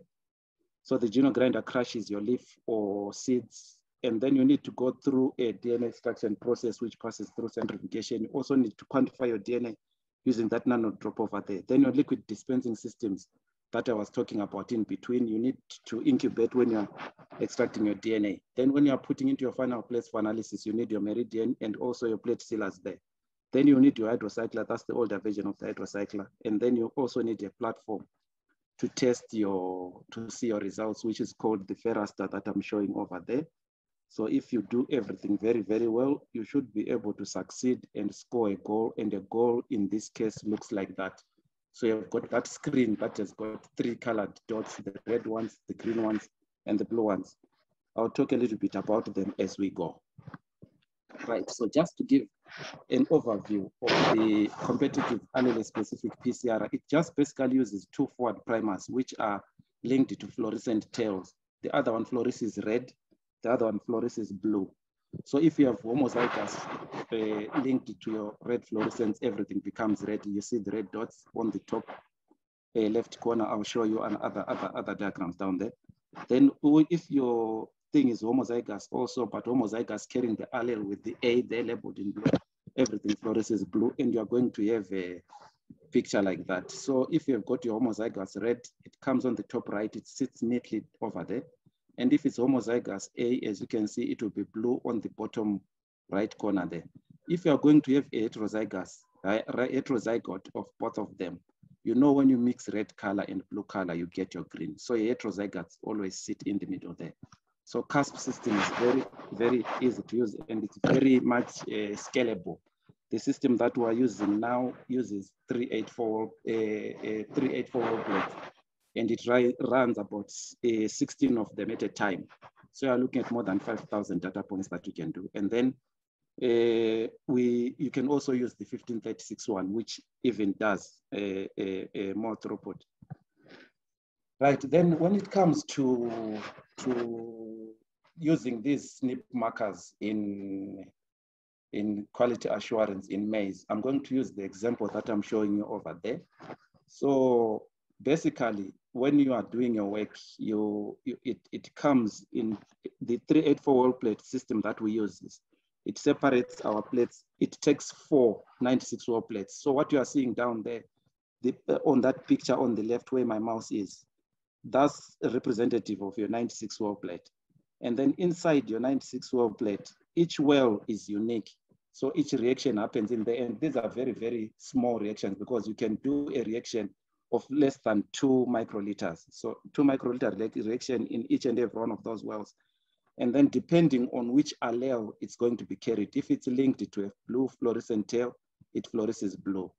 If it's linked to something that is heterozygous, it's going to show you those green ones. And in this case, I'm saying the one that is written inbred A there, we already know prior that on this particular marker, everything is supposed to be blue. So anything else that is not blue is coming from somewhere else. In this case, if it's going to be green, we know that your inbred line was pollinated by something from outside, giving you those green uh, uh, dots over there. So the system that you can use in our in, in, in the case of this lab that we have, we first of all had a chip of 20,000 uh, KASP SNPs. And then from that 20,000 SNPs, uh, 18 markers were selected, which are diagnostic of all the materials that we have. So for your genetic purity testing, you can select those 18 markers. Actually, by using 18 markers, we go beyond genetic purity testing. We actually go on to, to, to, to, be very sure that this is a particular hybrid that we have. But even with as little as six markers, six to 12 markers, you can be able to do your genetic purity testing very, very well. So starting from a large pool. I'm happy that some presenters have already touched on this in the previous presentations. You can start from a, from a pool of your material and then you test it You're using a lot of markers. That should, of course, cover the whole genome. And then from there, you can select a subset now that you use for purity testing, that you use for other uh, processes. If you need to identify a line, maybe in cases of disputes, you can go back to that big uh, data set that you have got and genotype to an extent that there will be a, a, a, scientific proof that we have really identified that this is your line. So in short, for this one, because I've said a lot, you can have as many as uh, a, a, a small subset of markers that give you like a profile for every inbred line, for every hybrid that you've got. And then once you state your, you test your original materials and you've got those genetic profiles, then anything else in future can be tested against that. Right, right, I'll give you another example here. So I'm saying if you cross inbred line A with inbred line B, you get your heterozygous hybrid X. It should look as nice as that over there. But then if you uh, if you have a problem that there is selfing, maybe as you are uh, uh, making your hybrids, some of them self, and then they give you that scenario, scenario that I've shown you before. Yourselves, of course, they don't have vigor as your hybrids. You can easily track and see that using these uh, SNP markers. For instance, in this case, you know that your hybrid, yes, for this particular marker, this is just one marker that, are, that you are looking at here. So your inbred A crossed with your inbred B, everything else should be green because inbred A is fluorescing blue and inbred B is fluorescing red. When you mix the two, you should get everything else green. So anything else that is not green is your contamination. But in this case, because we know that our inbred A was blue, those blue dots that we see over there, we are very sure that it's the blue that is coming from the selfing of your female. So you can easily do that for single crosses. This process is also good for for three for two-way crosses, uh, as as uh, the previous speaker talked about. I'm not going to go back and do that. This system is also good because you can use it to. Uh, Melu, please wrap up with one minute. Um... Okay, I'm, I'm already there. This system is also good because you can also use it to start off from contaminated materials here to a point on the third one there where everything else is the blue that you want. So you can do quick uh, uh, line purification using that. So in short, your markers can confirm uh, that seed meets genetic purity standards. It can also identify selfing and external pollination. It can also show you segregation that is going on there. It can also be used for variety verification. It's also possible for single and, and the three-way crosses for you to, to, to do that. So the markers are able to do that. I've just restricted this presentation to QA, but the markers can do a lot more than what I've talked about here. It only leaves me to thank the team and the organization that has allowed me to do this. Thank you very much. Thank you, Meluk, for the nice presentation uh, and uh, for the nice uh, giving us more methodological insights in the different types of molecular markers and its application in quality assurance and quality control. Uh, yeah, we know that uh, in your side, the application of molecular markers is quite high. Uh, we're expecting more than this actually, but it seems that uh, everything is a secret and data, uh, we want some practical data to be presented. Anyway, thank you very much. it was a very nice presentation. And with that, I will pass to the next and the final presentation. Uh, finally, yet importantly, in the next 15 minutes, Dr. John MacRobert experiences system specialty in Africa, works through seed conditioning and its effect on quality. John is a managing director of Makush Seed in Zimbabwe, which sells its seeds in four different countries, including Zambia, DR Congo, Botswana, and South Africa, uh, including uh, the company's hosting country, Zimbabwe. John serves as a system specialist in CIMMYT uh, for nine years and assisted many emerging and established companies on business development, seed production, and variety release. Before joining CIMMYT, John was the research and seed production manager at SeedCo Limited, now where Melu is coming, for five years. Over the last seven years, John has served as a consultant on seed business development in many different countries, specifically in East Africa uh, and Asian countries, uh, also in Netherlands and different international organizations. He is a very experienced seed system person in uh, the continent, uh, or uh, he's, he's serving the globe. John, I kindly invite you to start your presentation. Yeah, thank you very much for the introduction um, and good. Thank you very much for the introduction. I trust you can hear me and uh, greetings to everyone who's participating. Uh, it's been a wonderful afternoon so far, um, a lot of good information shared. So I want to look at things slightly differently. Um, we are trying to move.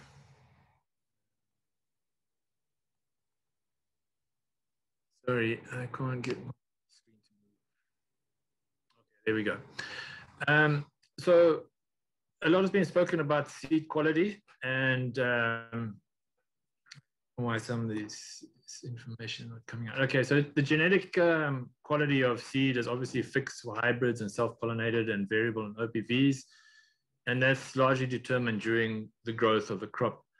Uh, when we look at the analytical quality, uh, we're looking at the percentage of pure undamaged seeds of the variety. Uh, the physiological quality is related to the seed germination and vigor. Uh, the sanitary quality is about diseases and pests in the seed and uh, foreign seed, especially noxious weeds. And then finally, the chemical quality, which would be related to the, the seed treatment that might be applied to the seed. So when we look at what I'm going to present today, I'm mainly looking at these aspects uh, that can be affected by seed conditioning or seed processing. Um, the talks so far have mainly concentrated on the genetic quality, uh, the purity, and uh, the identity of your, your products. But we want to look at some of these things like um, analytical, physiological, sanitary, and chemical. Now, there are a number of factors that affect the seed quality that comes out. Um, so I've mentioned that I really want to concentrate on this processing and packaging aspect of seed quality. Um, this is the sort of final stage of getting your seed ready for the farmer. And while there are um, standards for, for genetic and for uh, seed purity quality, um, really for a seed company, the concern is, is what the customer wants. Uh, what is the customer expecting when he opens a bag of seed? And of course, he expects that seed to be pure, true to type and uniform but he also expects to see a, the, the product, the seed, looking like uh, what he wants it to look like in terms of uh, utility and appearance and performance. Now, in Zimbabwe and Southern Africa and parts of other in other parts of Africa, seed size grading is important uh, because farmers um, like to have a uniform seed, and in our experience, this is is what I'm going to talk about, um, how, how critical it is for the farmer. So this describes quickly how you um, size seed in terms of that do size grade are not doing length grading, although in South Africa that can be quite a, an important aspect. Uh, most companies are grading on width and thickness. So on width, you have a large, a medium, and a small size. You can also have an extra small. Um, and that's screened with round holes. And the sizes there are the hole sizes, 11 millimeter, 9.5, and 8 millimeter. And then the thickness is graded with slotted screens, um, a 5.5 millimeter and a 6.5 millimeter. So we grade out according to the width large, medium, and small. And then we divide the thickness into two grades, um, flats and thicks and rounds. Uh, so the thicks and rounds, we, we combine them into one grade. Now, when you look at the seed physical analysis, uh, the Zimbabwe standards are pretty similar to most other uh, countries uh, in Africa uh, and around the world. You, you generally require 99% pure seeds in your seed sample and a maximum of 3% defect seed. And Within that defect seed, there are upper limits for things like insect or chip seed, germless seed, embryo damaged seed, off types, and disease seed.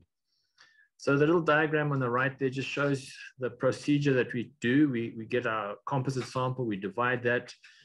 Um, we then have our purity seed test sample, and that is uh, divided up into three portions, other seed, pure seed, and inert matter.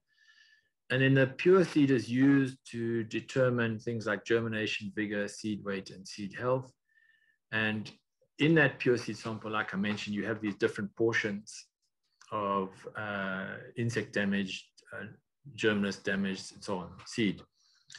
So we then, um, I want to just show you some examples from our processing of seed uh, and how important these components are.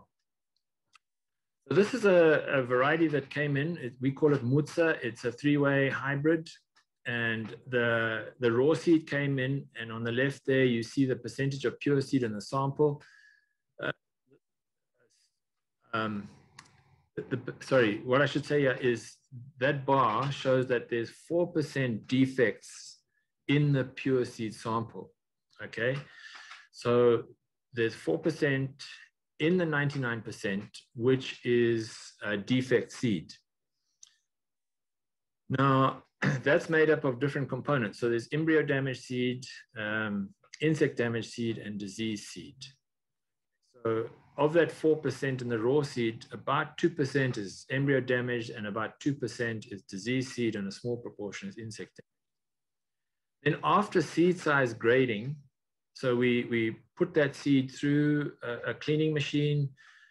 Um, it is briefly hand-picked on a, on a belt and then it goes through the size grading machine.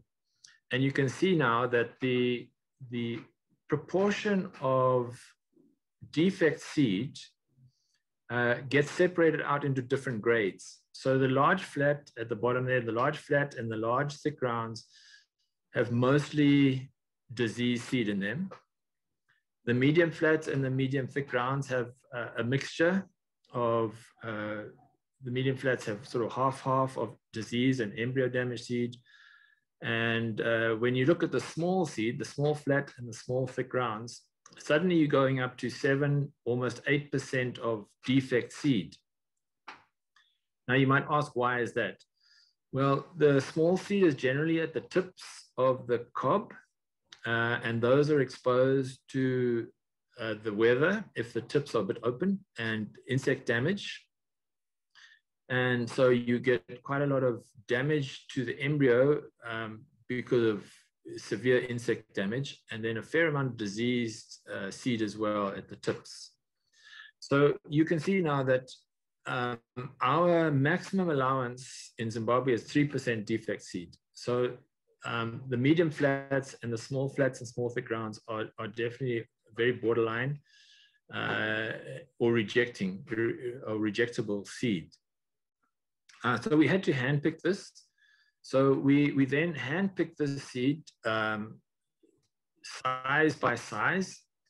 And you can see we get this down now to very acceptable levels of uh, seed purity and uh, percentage of defect seed.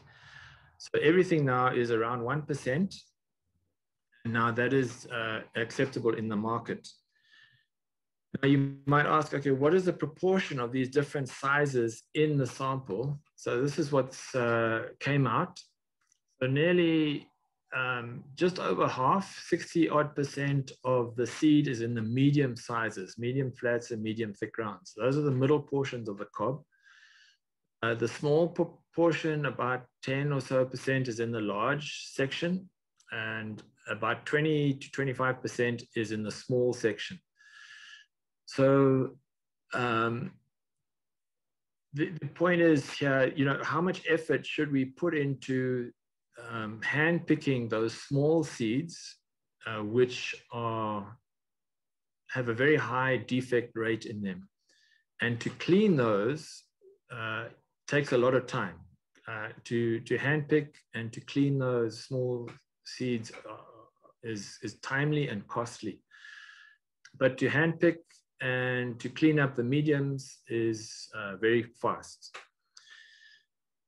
Then I'll show you another example. This is um, a variety called ZS265. Again, it's a three-way hybrid. Uh, again, the seed came in, it was combined, and it came in with nearly 6% defects about half disease and half embryo damaged. Uh, the embryo damage came from the combining principally, and the disease seed came because it was a very wet season that we had. So after um, hand picking and seed size grading, this is what we get. Uh, so the large flats and the medium flats, after putting them through the machines, are very clean and can go straight into uh, a bag, basically. The large thick rounds, these are mostly at the bottom of the cob, and so they have a fair amount of disease uh, problems. And then the medium thick rounds and the small flats and small rounds, which are again at the closer to the tip of the cob, uh, have got a big problem as well from, from breakages and uh, diseases. So then we, we redid those and we put them back through the machines. And you can see that when we cycle the seed uh, a second time and a third time through the machines, the, the percentage of defect seed uh, decreases in the smalls. Um, but again, the problem with this is, that, is the time that it takes to, to rework the seed. And so when we look at the proportion of the seed that's in the sample, in the lot, half of the lot, the, half of that 40 tons that came in uh, is medium flats. And you can see the medium flats can, can go through the machines once and they are of an acceptable quality. Medium thick rounds uh, are another uh, 10 or 15%. And there's very small proportion of large seed there. So the small seed, the small flats and the small thick rounds, they constitute about 25% of the sample. Uh, and so is it worth the time and effort to clean up those small grades? Doing as a company is we're putting all those smalls to the side for the moment, and we will rework them later when, when we have uh, the time and space to do that. Now, what we also do in our company is we're monitoring our, our quality throughout the day while we are processing. And this graph just shows you from 9.30 in the morning until uh, 14.45 in the afternoon, uh, how the grading uh, varies through the day. Um, this is somewhat related to the operations of the machines, um, the rate of feeding the machines, uh, the, the sample that's coming in and so on. So you can see there's there's quite a lot of variation as you in the proportions of disease seed, insect or chip seed, and embryo damage seed. So this is um, what we consider a very important thing because if you just do one sample a day, uh, you might get.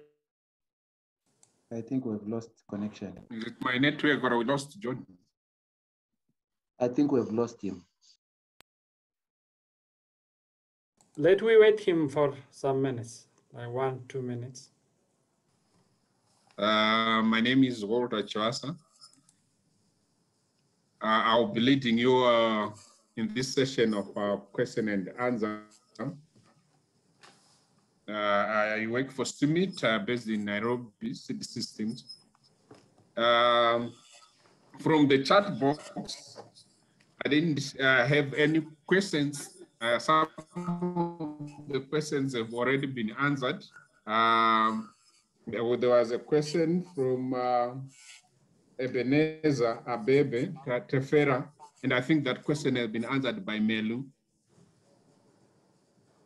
Uh, I don't know, Adefris, how do you want us to proceed because there are no questions. Do you uh, want us to uh, ask from the audience or are we, yeah. Yeah, well, ahead, yeah. If all are addressed, actually, let we ask uh, Gabriela to activate the hands up and uh, speakers microphones and uh, let uh, we let them ask us verbal questions. Leila. Yeah, and, and John, John is, is back, back. John is back, and if he can quickly finish his presentation. Okay. John? That's great. That's great. Okay. John, please continue presentation. Okay, sorry about that uh, internet instability there. No problem. Please continue. It's Africa. Okay. Yeah, so I'll try and qu quickly finish up. I'm just trying to get my screen back on. Okay, so like I said, we have uh, two teams, a quality team and a processing team, and they have to communicate to make sure that uh, the, they are meeting the quality standards, but also the output requirements. So our constant battle is quality versus quantity in the processing. But our maxim is quality must always trump quantity. So the, the quality team uh, can dictate or must dictate the, the rate of processing in order to meet then finally, just a quick look at seed treatment. And the aim is to obtain quality seed treated of a uniform color and correct chemical dosage. Um, there are three factors related here. There's the coverage, the evenness with which each seed is covered with a chemical, then the distribution of the chemical throughout the seed sample, and then the, the seed loading or the, the concentration of the chemical on the seed itself. Um, I won't go through this slide. Um, there's one aspect of seed treatment which is quite critical is because you're adding water to your seed, uh, you affect the final seed moisture. So in this example here, if your initial seed moisture is 12.5%, and you add 1% water, your, your moisture content goes to about 13.3%. Um, now that can be a problem, obviously, with the more water you apply, uh, the higher your final seed moisture content is, and that can certainly affect the, the, the of that seed and so on. So in um, processing that part of the seed, Okay, uh, seems that this is the last presentation, the last slide for his presentation, and better to go to question and answer session if there are anything. Uh, Walter, we are almost out of time now. It is exactly two hours since we start, and we are left with 10 minutes. And if there is any think uh, uh, two or three questions, please uh, go ahead with the question. Ask the audience to raise their hand. Okay, uh, that's fine. Uh, maybe the host can also unmute. Prasanna is saying uh, he has been un unmuted. But uh, currently there is no uh, question. Uh, there are no questions in the chat box and also uh, in the. Yeah, no one is, is raising. uh, He, he, okay. Uh, yeah. there is one from uh, at Gonza. Uh, at Gonza, please go ahead. Can you unmute yourself and uh, ask the question uh, briefly and straight to the point? Okay, hello. Go ahead. Can you hear me?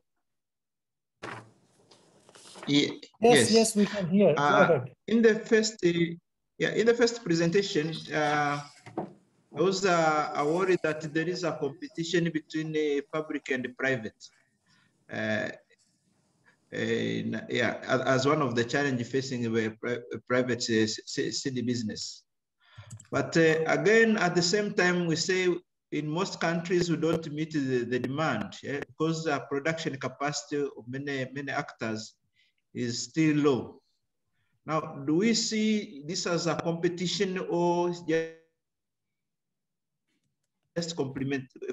They just complement each other, and they maybe what kind of why don't we look at the modalities of improving this uh, uh, uh, increasing the access to, to farmers instead of, of thinking of that there is a competition.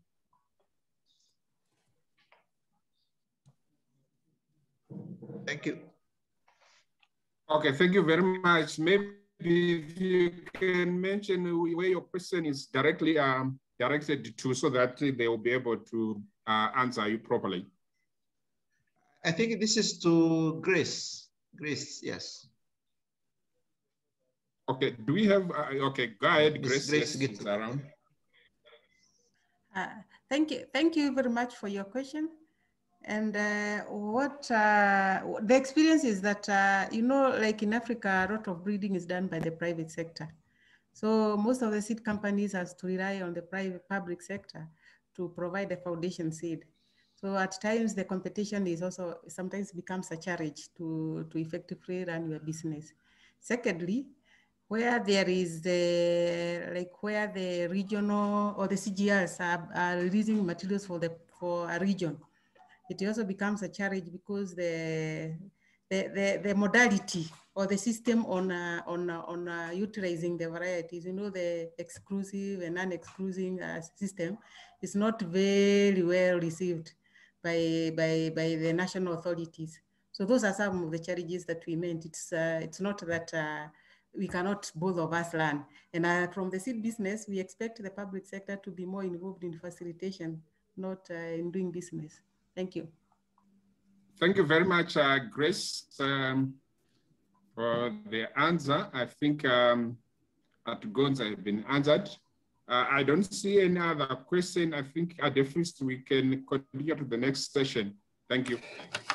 Thank you, uh, uh, Walter, for uh, uh, managing this session. And uh, ladies and gentlemen, with this, the webinar come to an end and humbly invite Walter Chivasa, CIMMYT African System Coordinator, to close the webinar. But before Walter starts to speak, on behalf of the organizing committee and myself, may I take this opportunity to thank first, importantly, the invited speakers for accepting the invitation and make such a marvelous presentation and narration. Also for CIMMYT scientists, the two CIMMYT scientists uh, who uh, gave us their experience and insight uh, with full of uh, datas, uh, data. Uh, also for uh, Global Maize Program and AGG project management staff for their all-round support. And finally, for CIMMYT Communication and Knowledge Management Team for designing the webinar flyer and fa facilitation the Zoom meeting. then Walter, please close the meeting. I, um, and this is uh, what I want to say. Okay, uh, thank you very much, uh, Adefris, uh, for uh, coordinating the webinar. I think uh, we managed to get a lot of insights in uh, QAQC. Uh, first of all, I would like to thank the presenters, both internal CIMMYT and also our resource persons who managed to put up the presentation during their busy schedule and also give us a very high quality presentations. I thank you very much. Uh, please uh, don't uh, get tired to continue to come to you uh, request your expertise or best. Uh, thank you very much for the quality presentation and also time management. Uh, the time management was very good. Your presentation were uh, concise and precise. No uh, short time, but we didn't want to um, hold our uh, audience, um, um, participants for a long time. Uh, just a quick one. I don't have to repeat the presentation, but uh, there were a few uh, take-home messages which we got from our presenters. For example, from uh, AFSTA, uh, we saw that uh, the maintenance of quality is key to realize return on investment and also you satisfy your farmers. Uh, Manje and my colleague James, they also uh, touched us and also they indicated that you don't need to have a lab for you to do QA/QC. You can outsource uh, the service. The services are now available, which you can outsource.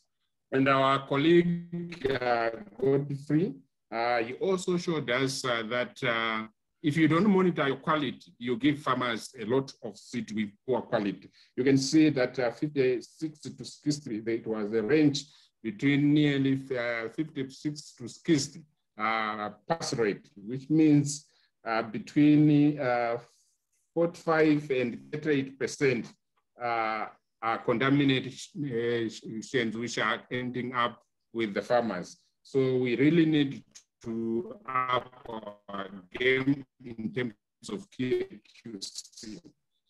Uh, and also from Melu, uh, you also uh, indicated that uh, the genes don't lie. Uh, if we only rely on morphological, uh, give farmers the quality, he showed us that uh, quality extends beyond genetic purity, but also you need uh, excellent seed conditioning for you to uh, give farmers seed that will uh, enable them to uh, realize the genetic gain uh, after seed conditioning in terms of grading, removing defects and the like. with that, I would like to thank you once again. Uh, who uh, provide the presentations to all the participants, uh, including the audio. So thank you very much. back to you, Adefris. Thank you very much. I almost finished, uh, uh, and thank you the participants for uh, making this event possible. Uh, like um, uh, coming in great number, uh, we'll continue a similar webinar in the future. And uh, good night, good day, wherever you are. This is the end of the presentation. Thank you very much.